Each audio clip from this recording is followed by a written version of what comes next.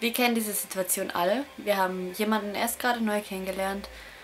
Äh, man versteht sich super, man hat erstaunlich viel gemeinsam, kann sich wunderbar unterhalten, ist gerade so richtig im Gespräch drin und kann sein Glück kaum fassen, dass man einfach so super tolle Leute kennenlernen kann. Bis da, guck dieses hässliche Ding da drüben an, das ist so gay. Und man sitzt daneben und denkt sich, nein! Warum? Warum du? Wir haben uns so gut verstanden. Wieso? Wieso?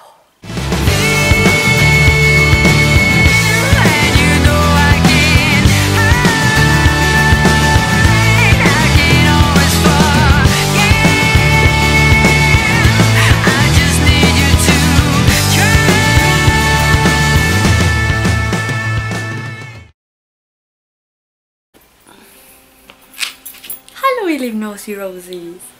In diesem Video will ich ein paar Worte zu dem Phänomen sagen, wie das Wort gay äh, in unser aller Alltag benutzt wird. Und zwar ist es nun mal leider so, dass die meisten Menschen nicht darüber nachdenken, wenn sie es benutzen und es daher in den völlig falschen Kontext setzen. Ist euch das mal aufgefallen? Also in 98% von Anfällen würde ich sagen, wird das Wort negativ verwendet. Das Interessante dabei ist, dass es ähm, nicht mal viel aussagt, ob diese Leute, die das eben im falschen Kontext benutzen, homophob sind oder nicht. Denn meistens, wie gesagt, denken sie einfach mal nicht drüber nach, wie sie es eigentlich gerade benutzen. Weil wenn ich die Leute darauf anspreche, kriege ich meistens so diese Antworten, ja, aber ich meine es doch gar nicht so, warum ist denn das so schlimm überhaupt? Das ist ja eigentlich einfach nur, wie gesagt, ich meine es ja gar nicht, ich meine es ja ganz anders, du weißt doch, wie ich zu diesem Thema stehe und so weiter. Sollte man das Wort äh, in keinem anderen als genau zwei Kontexten verwenden, nämlich man nennt einen wirklich homosexuellen Menschen so oder man nennt irgendwie, keine Ahnung, eine Serie, ein Buch, was auch immer, gay, wo halt extrem viel Gayness auch enthalten ist. Mehr fallen mir gerade nicht ein.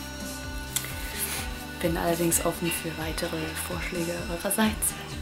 Machen wir mal das Gegenbeispiel. Es würde niemand sagen, äh, das ist hetero und das ist hetero und das ist hetero oder keine Ahnung.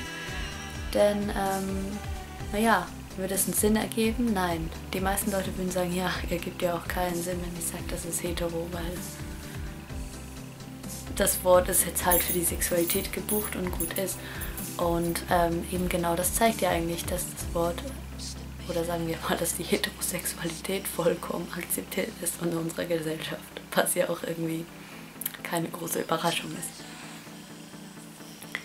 Ähm, nun müsste man ja meinen, wenn die Homosexualität genauso akzeptiert wäre wie die Heterosexualität, würde das Wort gay ja auch keinen Sinn ergeben, würde man es negativ verwenden.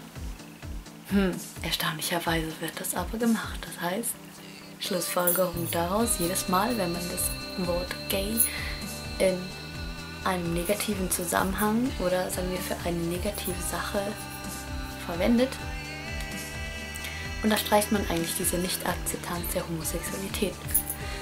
Wenn nun die Leute kommen und sagen, ja, hast ja irgendwie recht, aber ich meine es ja ganz anders, also warum bist du so überempfindlich, was das Thema betrifft? Mal ganz davon abgesehen, dass es durchaus viel passendere Wörter gibt ähm, als gay, ist es ja, so, dass ich vielleicht weiß, wie du das meinst, weil ich dich kenne und weil ich deine Meinung wahrscheinlich dazu kenne.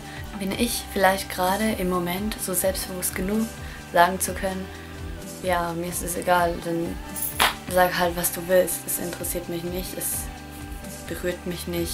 Um dich herum gibt es wahrscheinlich so viele ungeoutete Jugendliche, die gerade dabei sind, das zu akzeptieren oder denen es vielleicht unglaublich schwerfällt zu akzeptieren, was sie sind.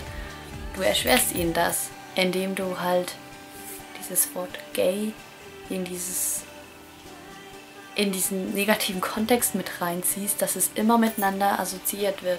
Wenn du vielleicht Homosexualität akzeptierst und das alles überhaupt kein Problem für dich ist und du bist eigentlich total offen dem gegenüber, ähm, macht sich das leider nicht bemerkbar. Ich jedenfalls finde nicht, dass jemand, ähm, der das Wort in diesem Kontext, im falschen Kontext vermeidet, als überkorrekt rüberkommt, sondern eher als empathisch und als jemand, der weit denkt und als jemand, der offen ist. Und das sind eigentlich so Eigenschaften, mit denen ich in einer anderen Person sympathisieren kann und nicht das Gegenteil.